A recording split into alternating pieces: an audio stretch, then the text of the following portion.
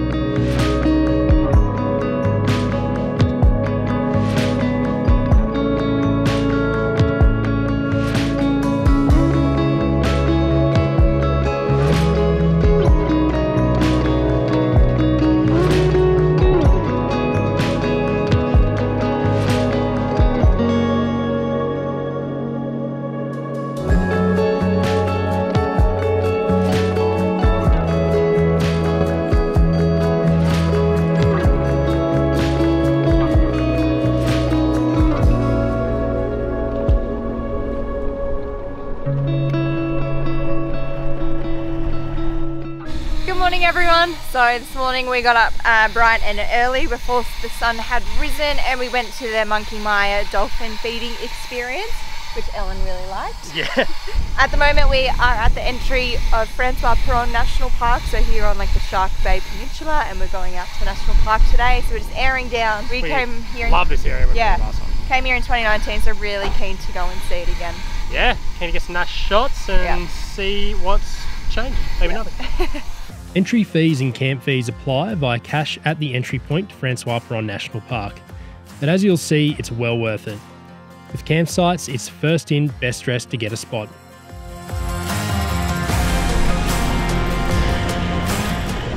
The roads in don't require any hardcore four-wheel driving, but can get quite rough.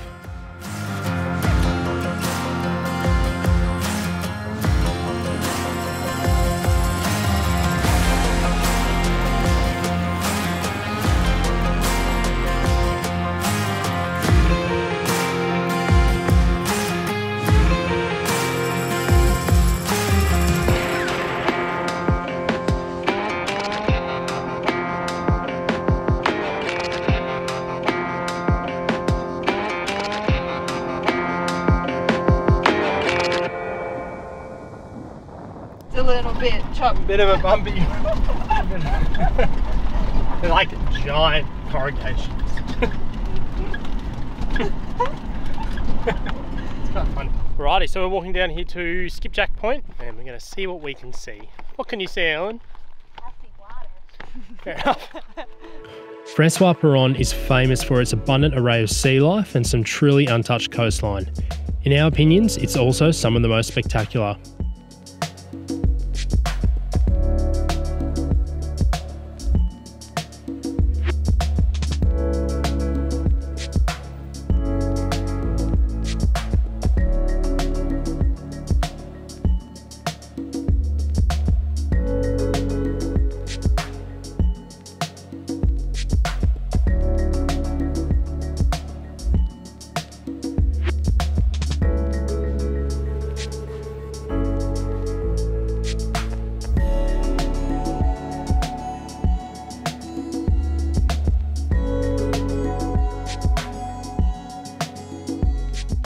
Welcome to Cape Peron. So we are obviously in Francois Peron National Park. This is the most probably westerly point of the park and in my opinion the most dramatic spot.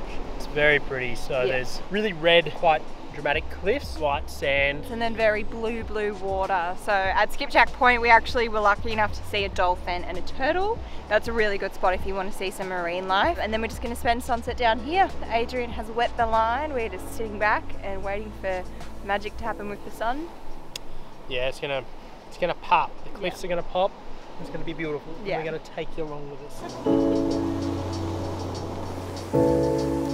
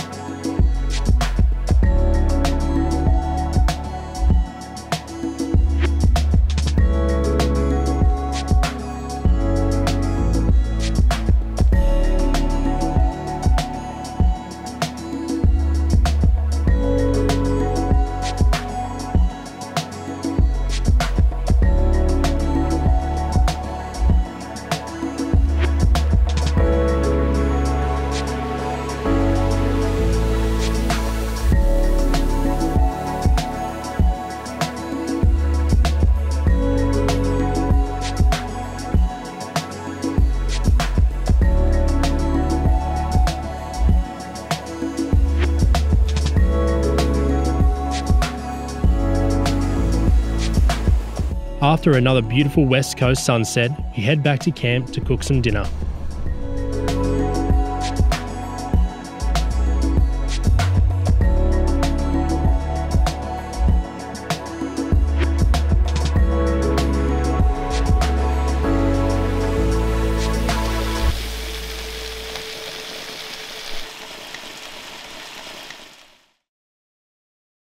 We are up early the next day to restock before our drive out to Steep Point and Dirk Hartog Island.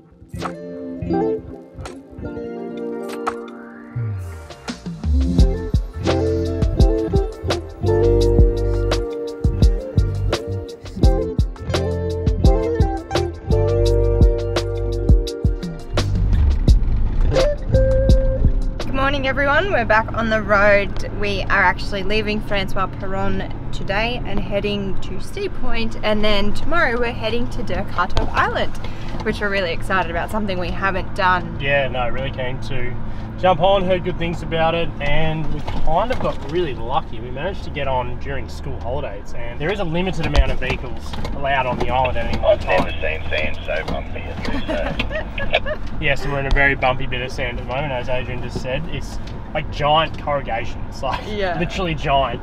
sort of weird You mogul. literally just have to like crawl over them. Yeah, so yeah, it's uh, yeah, a bit of slow going This driving this morning. morning. We're gonna hit a hot tub on the way out. There's a natural spa hot Like an spring. artesian waters. Artesian, yeah, it's pretty nice. We've been in it before, so yeah, got a pretty big day ahead. Big drive, lots of four driving out to the camp, the Steep Point, uh, most westerly point of Australia. So it should be a good day.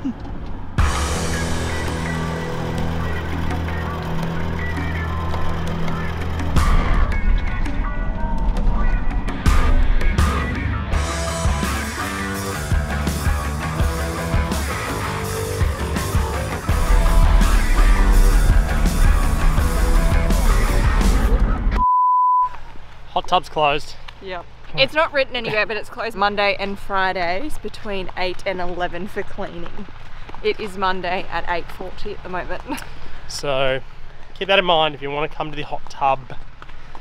Which is a real shame. get close. because Oh, I mean, at least they clean it. Well, it is, it's not a shame they clean it. It's a shame that we're here at this time. Yeah, it's a shame that we're just here at this time. that could be us. That could have been us. Look, there's Matt. A bit more hair than Matt though. All right, so we're walking down to Shell Beach, and the um, name says it all. It's a beach made of shells. but the reason is because this bay here is twice as salty as the open ocean. This to do with the currents and coming in, not being able to get out, evaporating, and creating a really salty um, environment where not too many animals can actually live. But there is one particular variety of shells that can, and now they're fried. And now there's just beaches of them.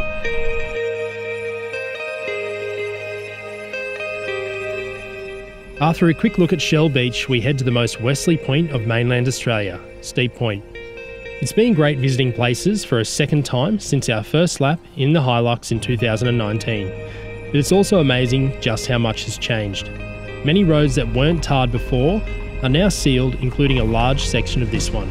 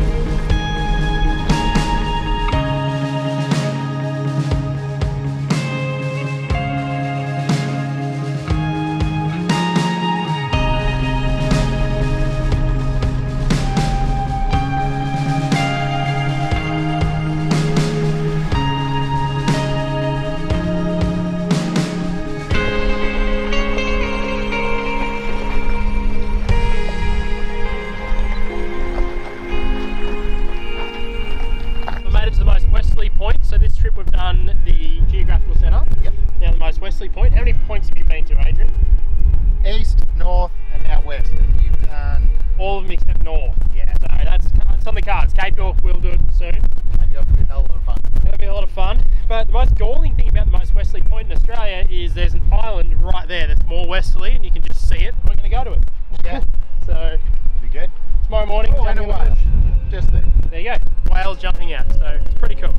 We drove back the few kilometres down the road to the barge campsite for Dirk Hartog Island, where we would be departing in the morning.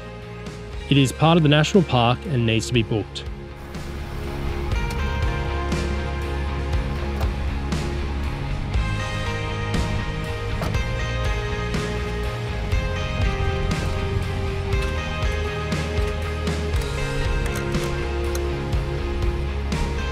So because it is super windy tonight, we have pulled out the induction, which is um yeah, it's just good in conditions like this. It's great to have the option, um, all the options of cooking. Yeah, induction, it's really, really good. I like Yeah. it. I rate it. Don't diss it. Yeah. We settled into a stormy and windy night, excited for the adventure starting the next day on Dirk Hartog Island. So definitely tune into that one next week. You don't want to miss it. See you in the next one. Cheers.